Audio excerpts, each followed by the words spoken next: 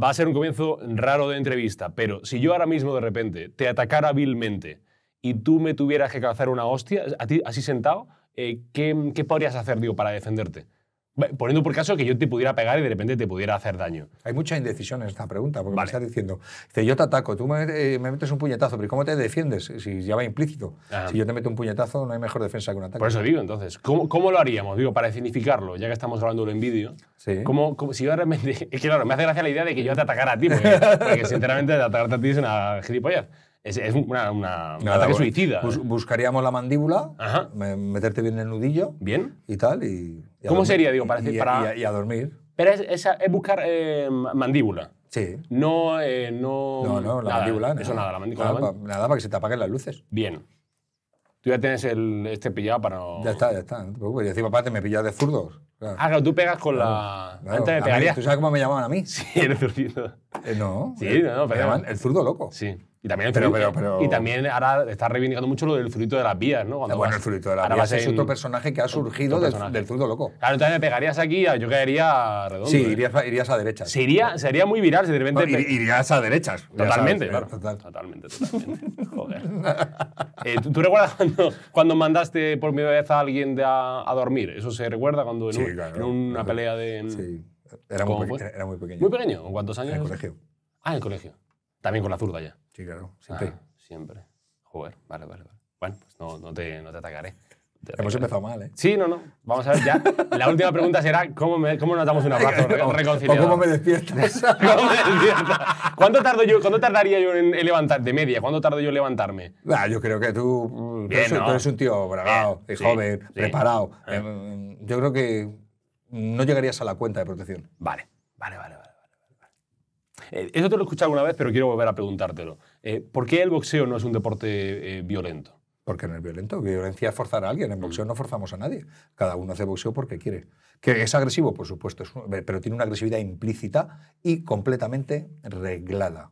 O sea, no como otros deportes que utilizan la agresividad como trampa. Nosotros no. La agresividad es implícita. Y la agresividad, al final, es algo que tenemos nosotros que, que- que es como instintivo, que es, como un- es el sistema defensivo que tenemos. ¿no? Entonces, al final, es el boxeo es la máxima exponencia de pegar y que no te peguen. Al boxeo no, no se juega, Nunca.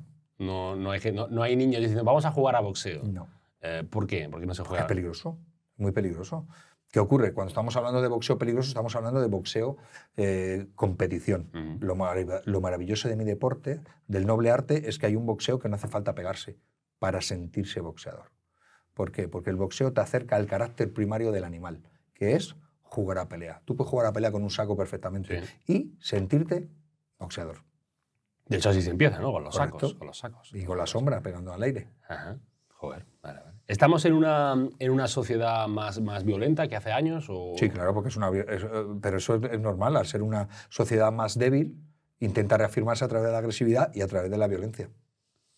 ¿Eso notas, por ejemplo, en los, en los chavales jóvenes o en, o en los adultos? O en, Total. eh, ¿Notas que vienen más cabreados, que tienen más ira, que tienen más frustración? Poca, poca tolerancia a la frustración, eh, pocas herramientas para superarla y eso conlleva más violencia, más agresividad.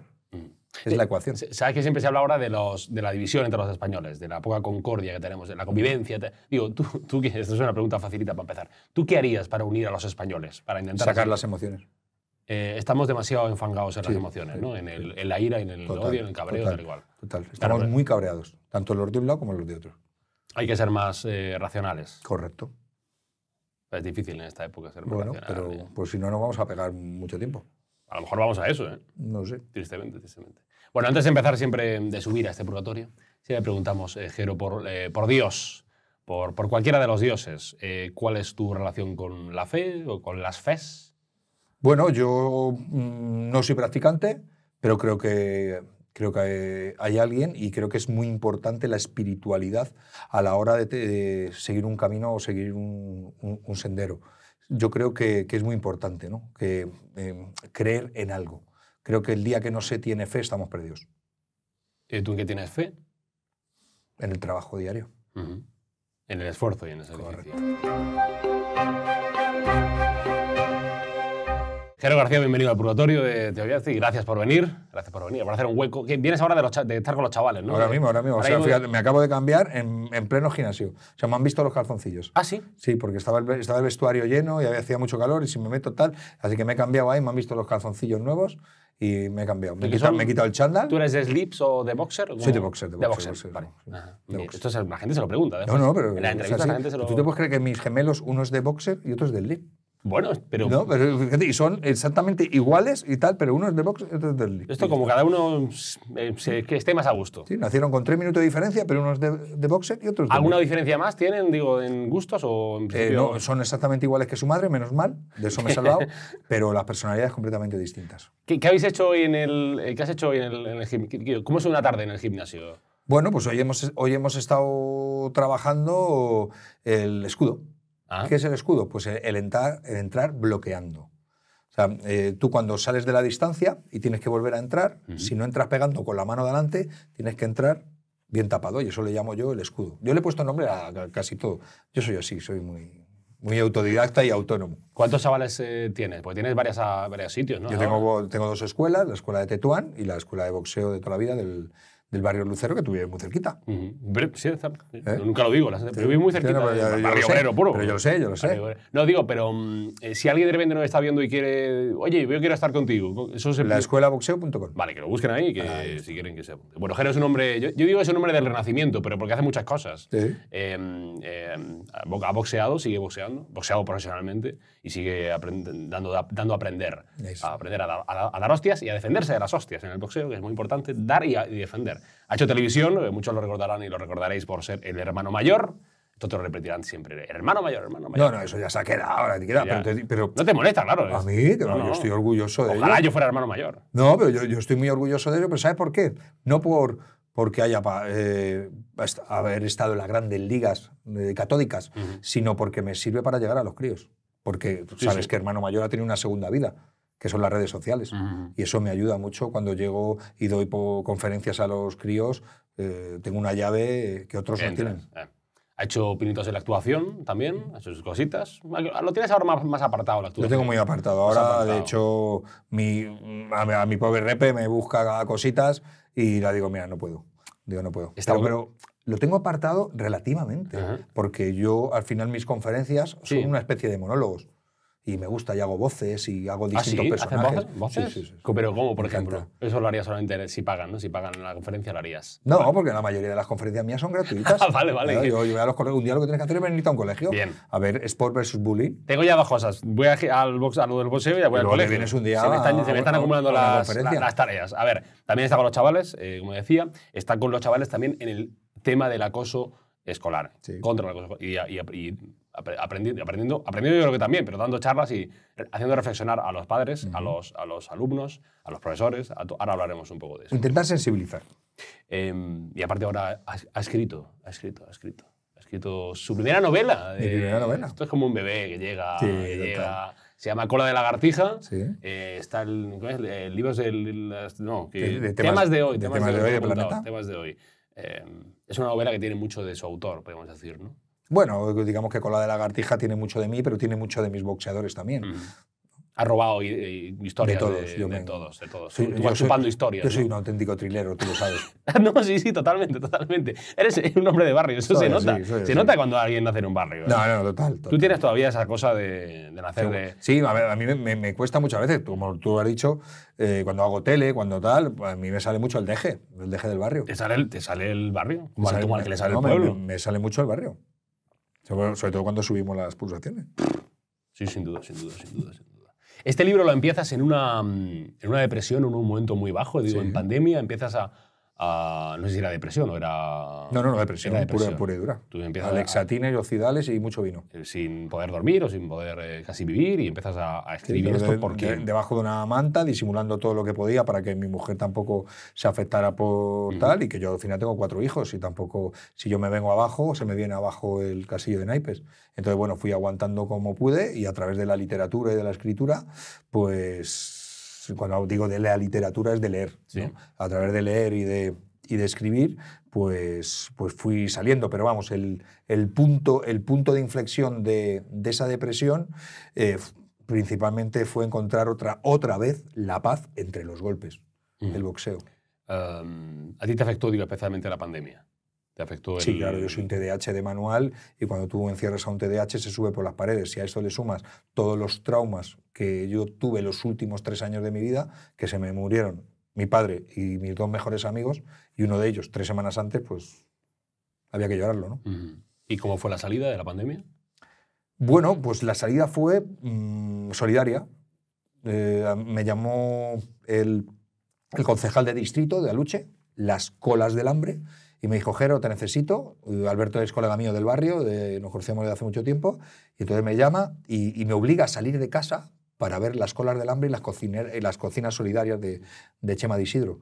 Y, y en ese momento yo digo, algo tengo que hacer, algo tengo que hacer. Solo se me ocurrió pues lo único que sé hacer, que es boxear. Entonces se me ocurrió ponerme delante de una pantalla de ordenador y empezar a boxear para toda la gente. Empecé con 50 personas y acabé con 700. No está mal. Nada mal. No se llamaban clases de boxeo solidaria. Entonces la gente iba donando todo el dinero que podía a la fundación y yo iba comprando comida. Pues compré casi más de 3 toneladas de comida para la escuela del hambre. Um, ¿cómo, es tener, eh, tener TDAH?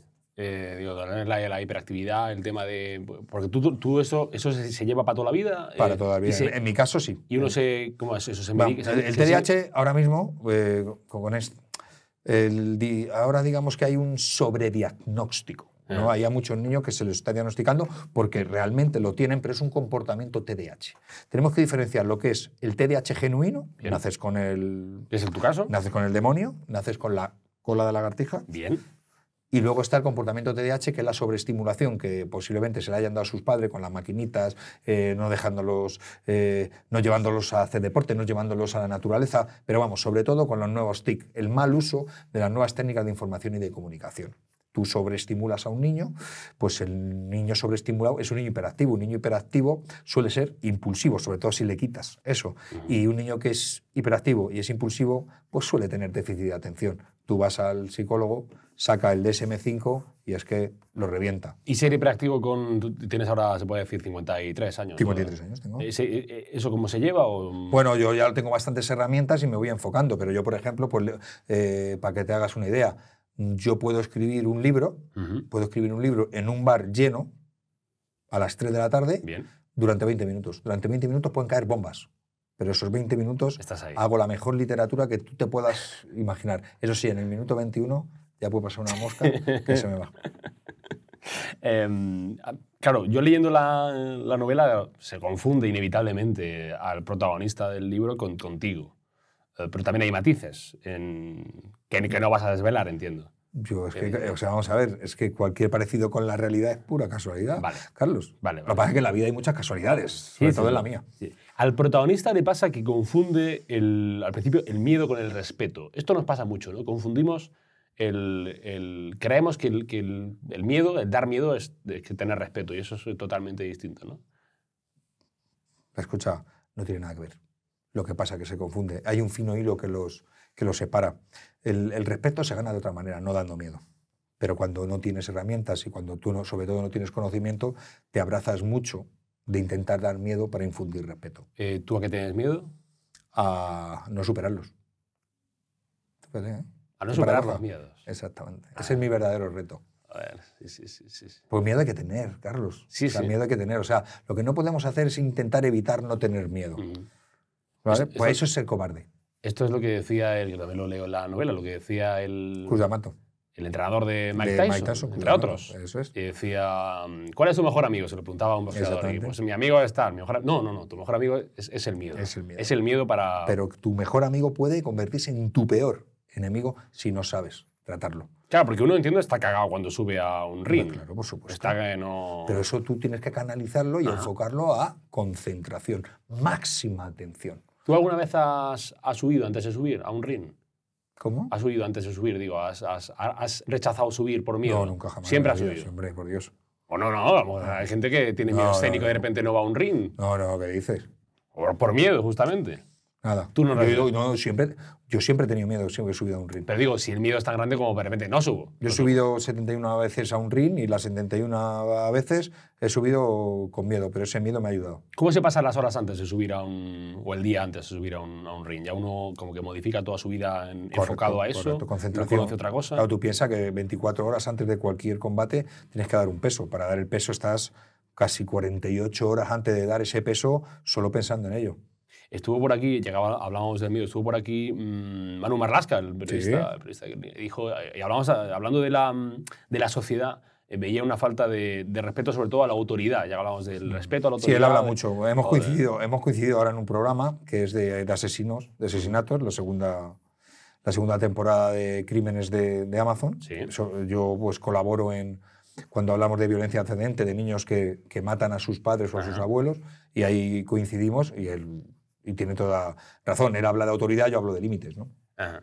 Eh, ya no hay aut- autoridades como tal, digo. Eh, No hay respeto bueno, a pero esas- porque no se las ganan, porque vamos a ver, mm, todo depende. O sea, la autoridad, el límite, hay que ponerlo desde el principio. Lo que no puedes pretender es que un niño con 10 años mm, navegue sin ningún tipo de norma, de pauta de, de límite, y luego cuando tiene 12, ponérselas. Es así como ahí pierdes toda la autoridad. A un niño hay que ponerle la pauta, la norma y el límite desde que nace. Eh, cuando se habla de esto de la, de la generación de cristal, tú hablas de los padres. Claro, la Realmente generación es- de cristal no existe. Existe una generación de cristal que son los padres. Volvemos al miedo.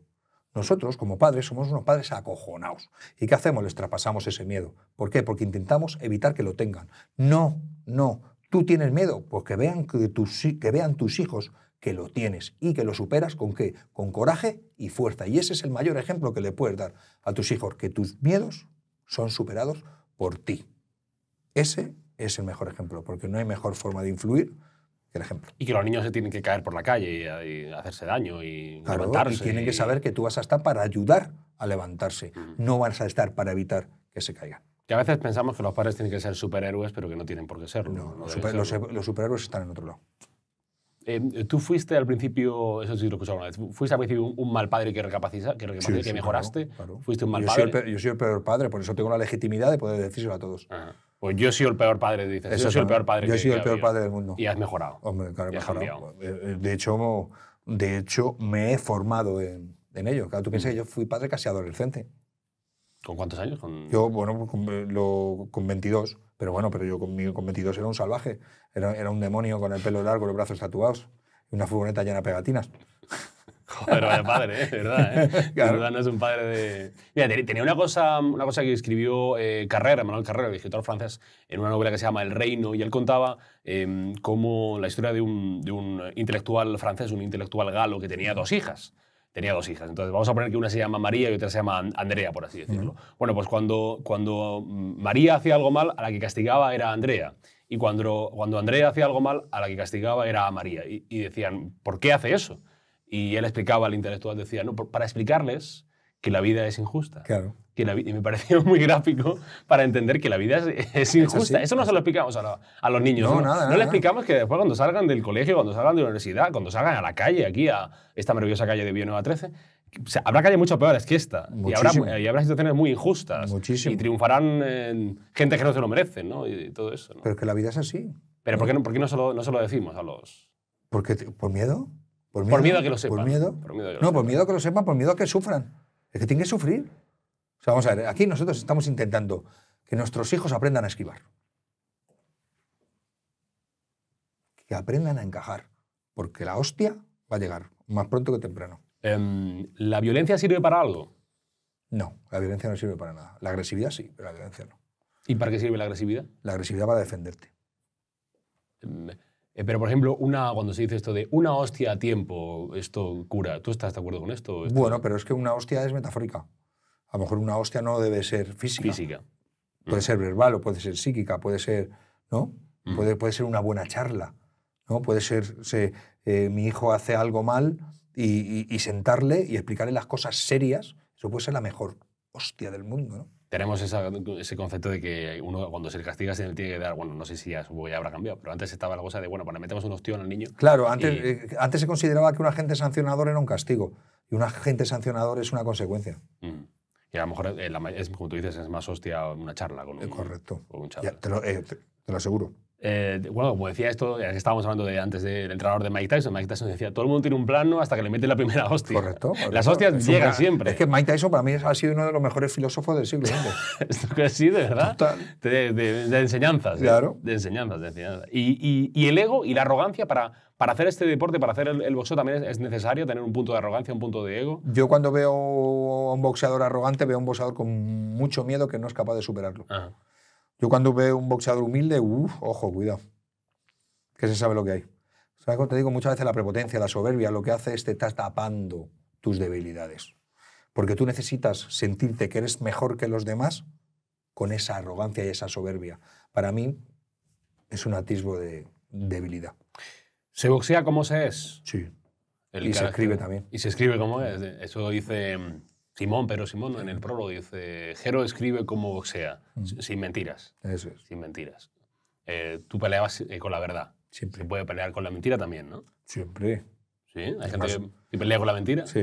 ¿Y eso cómo es? Hay ¿Cómo gente- se- pues bueno, porque eh, vamos a ver, hay gente que es boxeador de portal. Ah, Es el boxeador del barrio, es el boxeador de ascensor. o sea, es boxea- es boxeador de, fo- de foto. Exactamente. De foto, de Luego, pose. o sea, ¿Y sabes lo que pasa en boxeo? Ajá. Que ahí quien no te va a engañar es tu rival ni el ring. ¿Qué, qué le pasó al boxeo para que no esté tan presente en la, en la sociedad? Porque yo he escuchado a, a periodistas, a, a Jaime Ugarte, por ejemplo, Sí. y otros, eh, que antes estaba mucho más presente, incluso en la televisión, incluso en los medios de comunicación, en, la, en, la, en la sociedad propia. Sí, sí, Y sí, sí. Los boxeadores eran... Se, bueno, se estigmatizó.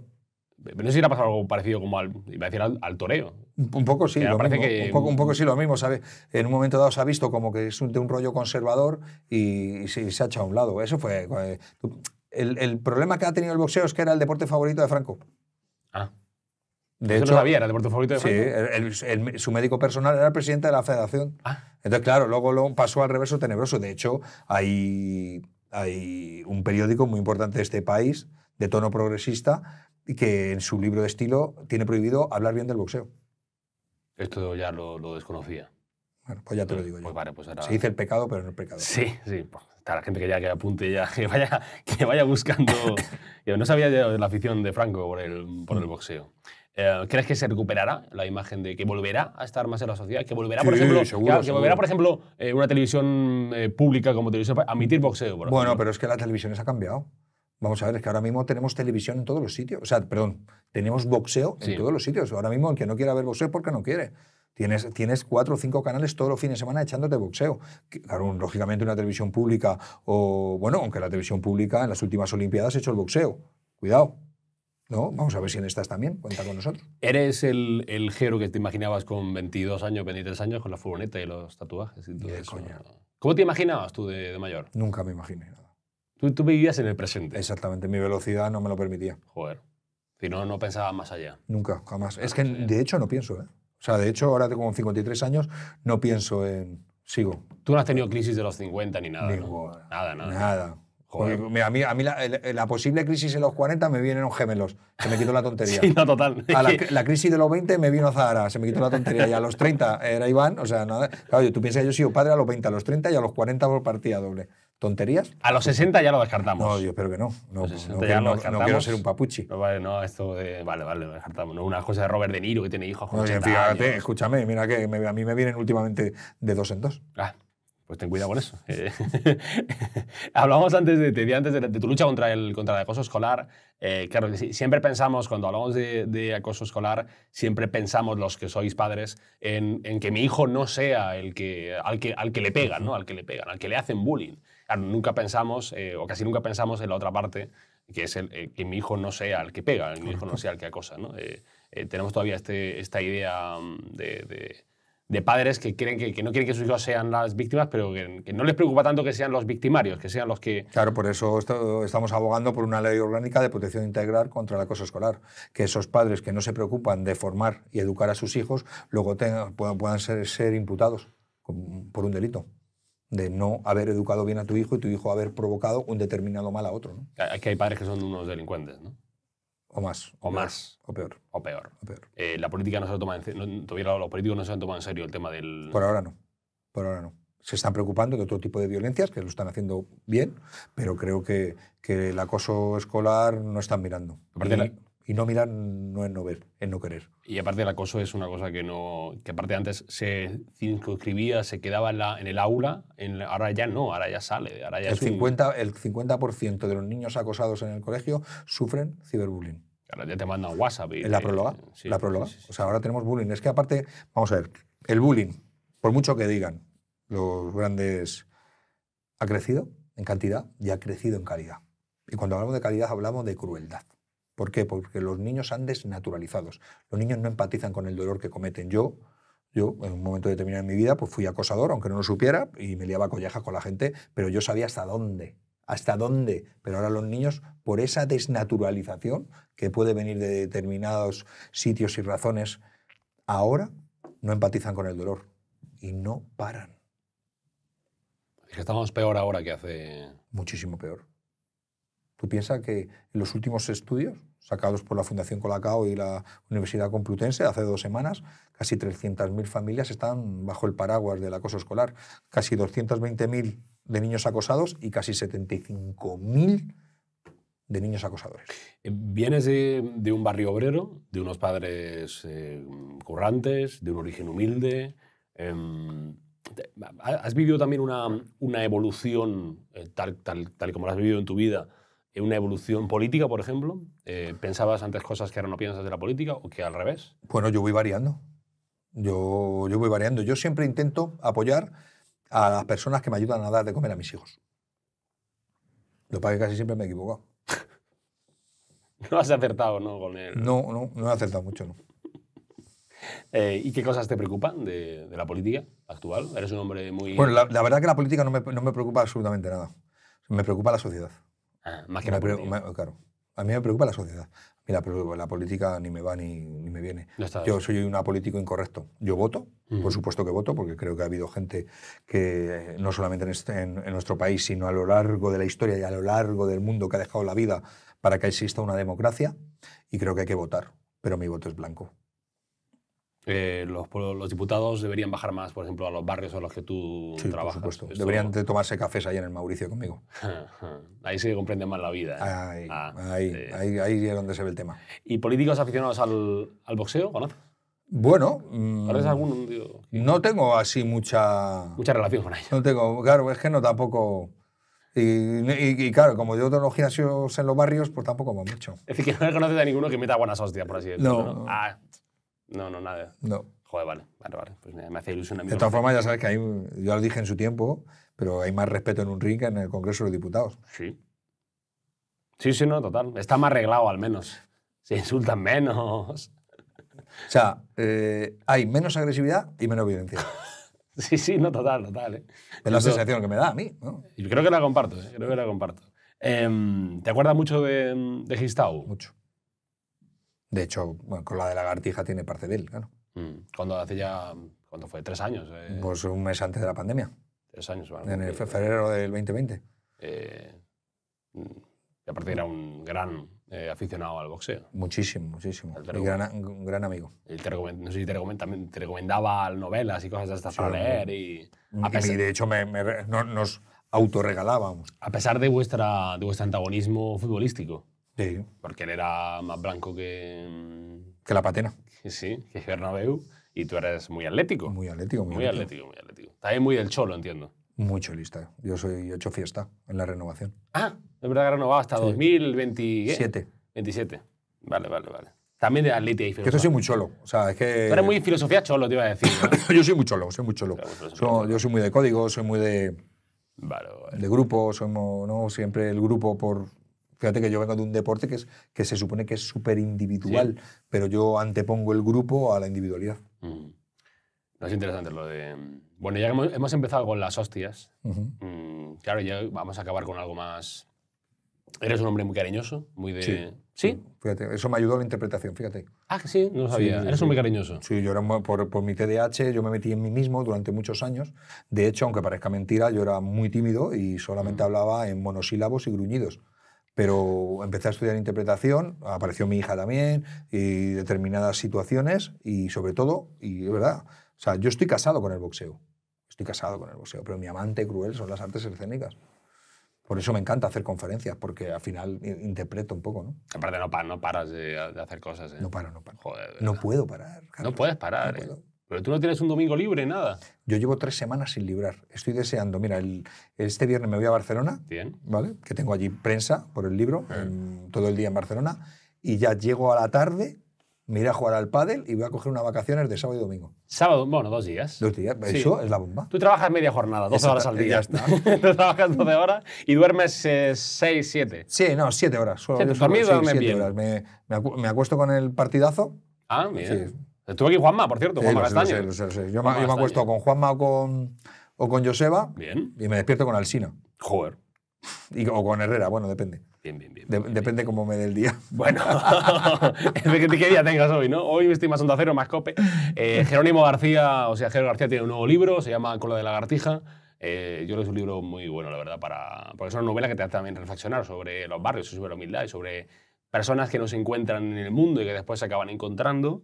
Y también tiene mucho, yo creo que de la historia de este hombre tan, tan, tan nervioso, iba a decir, eh, pero que tiene, tiene, tiene tantas cosas que hacer y tantas cosas que decir que te tenemos que volver a traer como cada mes o algo así, porque siempre estás cosas nuevas. ¿Nos quedamos cortos? Nos quedamos cortos quedamos de tiempo. cortos. Eh, Jero, suerte, quede con Dios. y Muchas gracias, gracias, eh, Carlos. a ti. Un abrazo. A vos. Chao.